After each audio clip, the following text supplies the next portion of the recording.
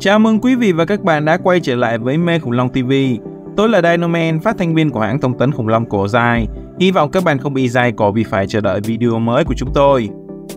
Tyrannosaurus Rex, loài khủng long được mệnh danh là vua của các loài khủng long, kẻ thống trị thế giới đại trung sinh, động vật trên càn có lực cắn mạnh nhất, có thể nghiền nát con mồi một cách dễ dàng, cũng là khủng long săn mồi to lớn nhất lịch sử dù có thể vẫn còn một số tranh cãi nhất định. Thế nhưng, khủng long vua thập toàn, tưởng như tạo hóa đã cho T-Rex tất cả để trở thành loài khủng long bá đạo nhất, nổi tiếng nhất thì lại lấy đi của nó một đôi tay cường tráng và lực lưỡng mà lẽ ra nó nên có. Thay vào đó, tạo hóa lại để cho T-Rex một đôi cánh tay, khiến nhiều người khi nhìn thấy phải tự hỏi, con này nó bị teo cơ à? Tay gì mà lại nhỏ như thế này?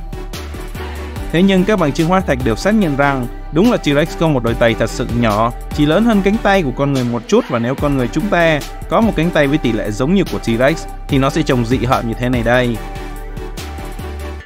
Nguyên nhân vì sao cánh tay của T-Rex lại trở nên nhỏ bé như vậy và nó có công dụng thực sự nào không cho đến nay vẫn là một cuộc tranh luận không ngừng của ngành cổ sinh vật học. Ngày hôm nay, chúng ta hãy cùng thử tìm hiểu những giả thuyết xoay quanh cánh tay của T-Rex là gì nha. Nào, các bạn đã sẵn sàng chưa? Chúng ta hãy bắt đầu thôi.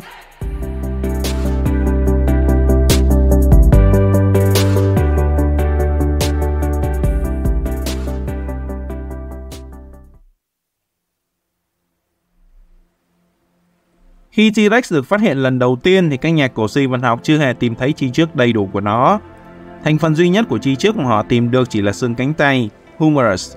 Chính vì thế trong bản phục dựng đầu tiên được giới thiệu đến công chúng vào năm 1915, nhà cổ sinh vật học lưng danh của Bảo tàng lịch sử tự nhiên Hoa Kỳ là Henry Fairfield Osborn đã mượn cánh tay của Allosaurus để lắp vào cho T-Rex. Do đó chúng ta sẽ thấy nó có ba ngón tay. Trước đó một năm thì nhà cổ sinh vật học Lawrence Lamb đã mô tả một chi khủng long mới có họ hàng gần với Tyrannosaurus, đó là Gorgosaurus. Và ở chi này thì cánh tay của nó chỉ có hai ngón, và do vậy một số người cũng đề xuất giả thuyết rằng Tyrannosaurus có chi trước hai ngón giống như Gorgosaurus. Tuy nhiên phải đến năm 1989, người ta mới chính thức xác nhận điều này khi phát hiện chi trước hoàn chỉnh đầu tiên của T-Rex. Cùng chính lúc này thì người ta mới khẳng định thêm một đặc điểm nữa ở chi trước của T-Rex, đó là chúng có tỷ lệ so với cơ thể nhỏ đến kỳ cục, chỉ dài khoảng 1 mét so với cơ thể dài từ 12 đến 13 mét của những con T-Rex trưởng thành. Giả sử bạn cao 1m8 và có cánh tay có tỷ lệ giống như của T-Rex thì cánh tay của bạn sẽ chỉ dài 15cm. Nhiều người còn gắn mác cho nó là cơ quan viết tích, nghĩa là một cơ quan trong quá trình tiến hóa đã không còn chức năng thực tế hoặc chỉ còn giữ lại một phần chức năng rất nhỏ mà thôi.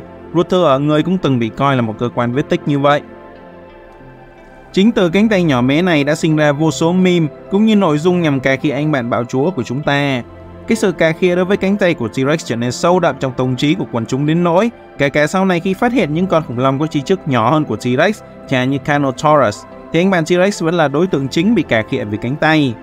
Ngay cả trong những bài viết về Carnotaurus hay những chi khác cùng họ có cánh tay nhỏ tương tự, các lều báo cũng thường dùng T-Rex làm chuẩn. Cũng may là T-Rex đã tuyệt chủng chứ nếu nó còn sống thì chắc chắn sẽ có một phong trào kêu gọi ngưng body Samsung T-Rex. Nhắc đến ruột thừa thì chắc ai cũng biết huyền thoại là nó thừa như thế nào. Đã không có công dụng thì chớ mà mỗi lần nó đau thì phải vô bệnh viện, cắt cho nó đau một lần rồi thôi. Tuy nhiên quan điểm ngày nay không hề cho rằng ruột thừa vô dụng mà có vai trò nhất định, thậm chí là rất quan trọng trong hệ tiêu hóa. Trong hệ thống ống tiêu hóa, có lớp mang vi khuẩn có lợi sống cộng sinh và nắm vai trò thiết yếu trong việc lên men thức ăn, tổng hợp vitamin và người ta quan sát thấy rằng số lượng vi khuẩn này sẽ giảm dần từ ruột thừa trở đi. Như vậy, ruột thừa là nguồn dự trữ vi khuẩn có ích cho tiêu hóa, đặc biệt là trong trường hợp bạn bị tiêu chảy nặng hay tiêu hóa sẽ bị thất thoát một lượng lớn vi khuẩn có ích thì sự chi viện từ ruột thừa là vô cùng cần thiết để lập lại trật tự, tránh việc các vi khuẩn gây hại lợi dụng xâm nhập. Ruột thừa là vậy, còn đôi tay của T-Rex thì sao? Tuy có thể gọi là nhỏ so với cơ thể, nhưng chi trước của T-Rex không hề yếu so với những gì chúng ta vẫn nghĩ. Xương chi trước của T-Rex cho thấy có những khu vực lớn để cờ bám vào, giúp nó có sức mạnh không hề nhỏ. Các phân tích cơ sinh học cũng thể hiện rằng cơ nhị đầu cánh tay của T-Rex có khả năng nâng được một khối lượng nặng gần 2 tạ, mạnh gấp 3,5 lần so với cơ nhị đầu cánh tay của con người. Vấn đề của nó chỉ là khả năng cử động hạn chế, khi khớp vai và khớp khuỷu tay chỉ có thể chuyển động một gấp 45 độ. Để so sánh thì các khớp tương tự ở Deinonychus có thể chuyển động từ 88 cho đến 130 độ, còn ở con người thì có thể chuyển động 360 độ đối với khớp vai và 165 độ đối với khớp khuỷu tay. Nhìn chung chi trước của T-Rex có cấu tạo mạnh mẽ, đầy cơ bắp và do đó nó có thể có những chức năng nhất định thay vì chỉ là vết tích hay vô dụng. Điều này đã được các nhà cổ sinh vật học xác nhận từ đầu thế kỷ 21. Vậy vấn đề tiếp theo là tay của T-Rex dùng để làm gì? Năm 1906, Henry Fairfield Osborn, dù lúc đó vẫn chưa được làm việc với một chi trước T-Rex đầy đủ, vẫn đưa ra giả thuyết rằng T-Rex có thể dùng đôi chi trước của nó để bám vào đối tác trong quá trình giao phối, giúp quá trình diễn ra thuận lợi và chắc ăn hơn.